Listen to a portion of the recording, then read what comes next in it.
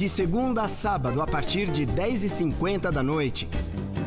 Você tem um encontro marcado para se emocionar com Viver a Vida.